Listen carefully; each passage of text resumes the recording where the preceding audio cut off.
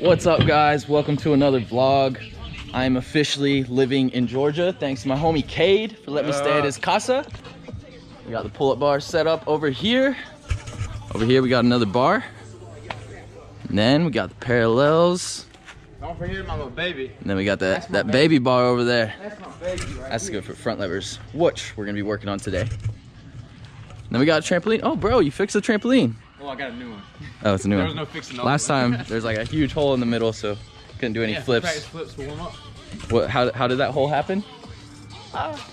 I just went straight through it, you know. Imagine that, just jumping on a trampoline and just going straight through. Anyways, today we are going to be working on front lever, Hefesto, and a little bit of planche because the first night I got here, we worked on planche. That being said, I'll be sharing what we're going to be doing for our training session as well as beginner progressions for each skill. So let's get to it.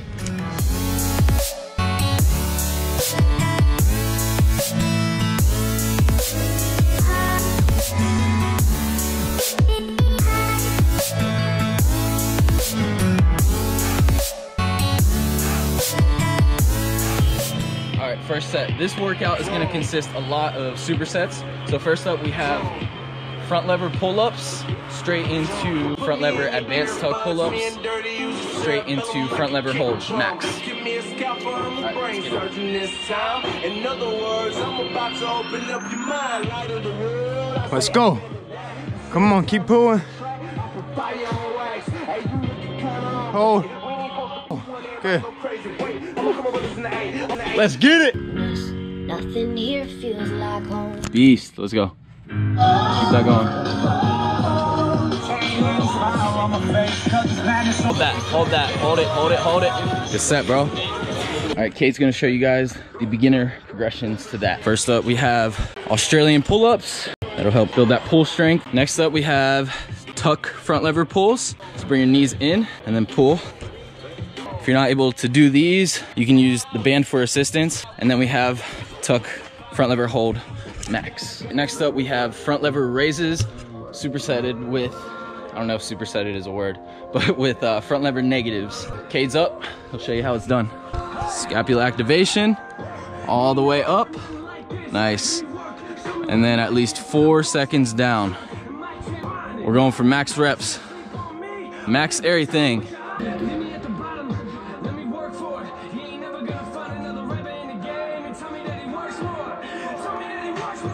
There you go. Good.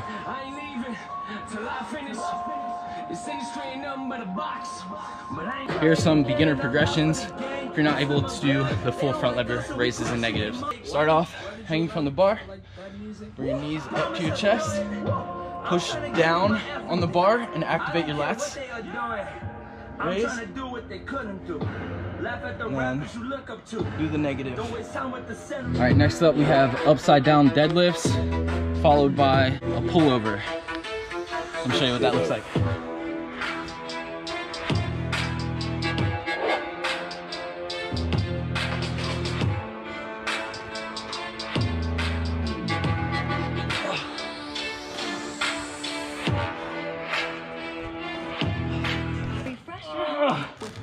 Holy moly. Hold, hold, holy moly. Holy moly. Hold, hold. All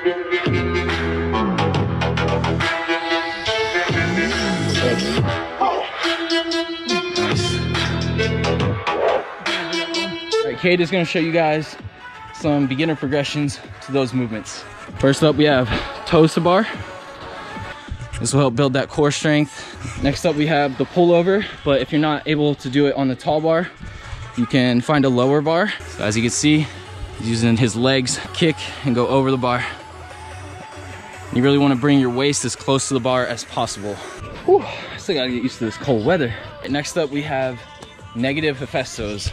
Now, Hefestos are very strenuous on your shoulders and your biceps, so you really wanna make sure that you're properly warmed up. A good warm up for this would be, if you don't have a bar this height, I know it's, it's kind of rare to find one like this, then build one, look Cade did. you gotta make it happen somehow, you know? Yeah, a good warm up would be just to get in the Hefesto position, bring your feet back a little bit, and just go through the motions. Keep that false grip.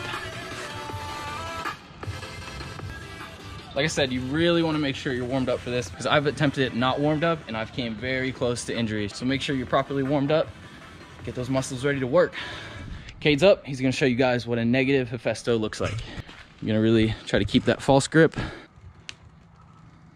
So when doing a negative with any exercise, I try to take at least four seconds to do the descension of the exercise. The reason negatives are so beneficial, pretty much with any exercise, is because the time that your muscles stay under tension is longer than just doing a regular rep, normal speed.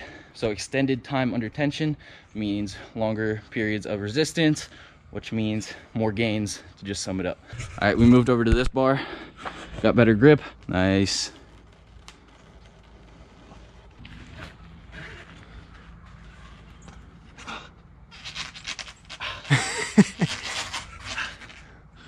Freestyle negative Hefestos.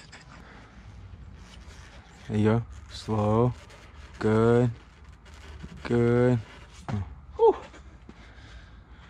Back up again. Let's get it.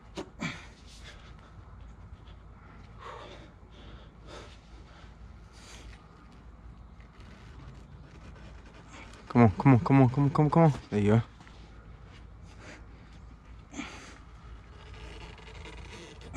All right, so beginner progression for the negative Hefestos would be to pretty much do the same thing as you would for a warm-up, just to get your muscles used to doing that motion. So keep that false grip, go all the way down, pull, come to the top, and then slowly come down. And be explosive with the pull. Playing my game. slowly come down. And also having a resistance band, grabbing the band right here, putting the band around your waist, and then grabbing on the other side and doing a negative will also help. Next up, we have Korean dips. Let's get it.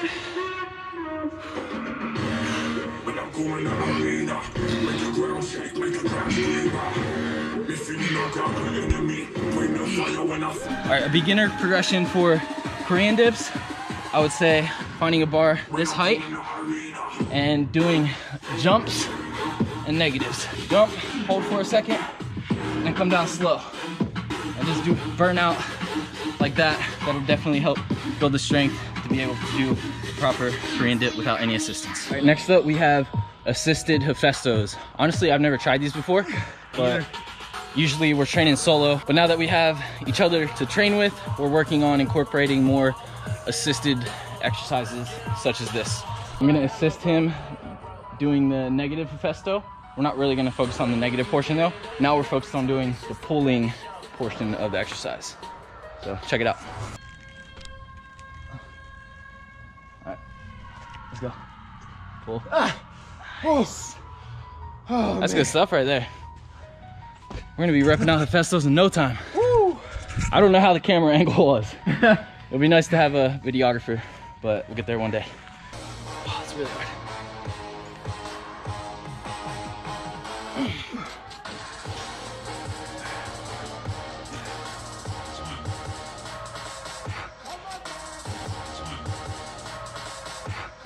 I think that camera angle did not work out well. We'll see. Holy moly. I feel like I was turning it as I was pushing you up. Beginner progression for the assisted Hefestos would still be assisted Hefestos, except we're gonna get on parallel bars.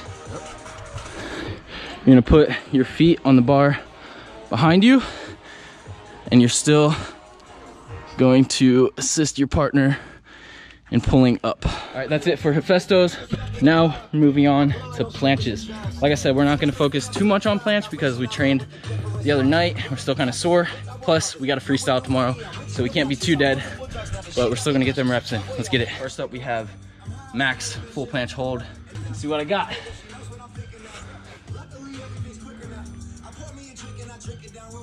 Ooh, boy. Let's go. Come on. Fight for it. Let's go. Fight. Let's go. Let's go. There you go. There you go. Form. Good. If you're not able to do the full planche or advanced tuck planche yet, just focus on doing max tuck planche holds as well as planche leans. Cade's up. He is on the brink of getting that full planche hold. So he's gonna work on his straddle planche followed by advanced tuck planche hold. Let's go. Nice.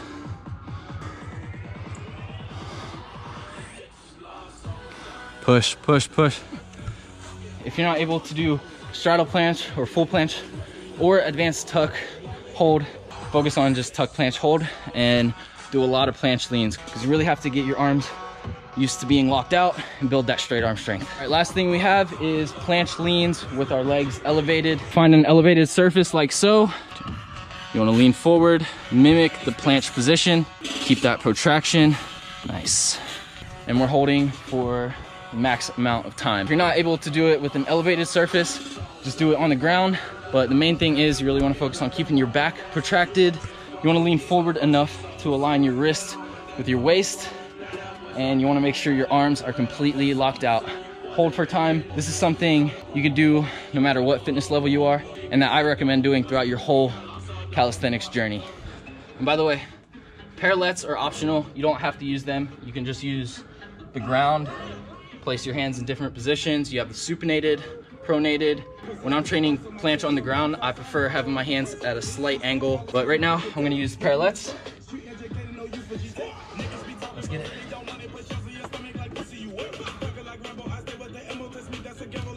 There you go. Come on, let's go. There you go. Good job. All right, guys, that's it for the first set. We're gonna cut the camera and finish up this workout. I hope you guys enjoyed. Thank you so much for watching. Don't forget to subscribe, like, and comment. I'll see you guys next time. Peace.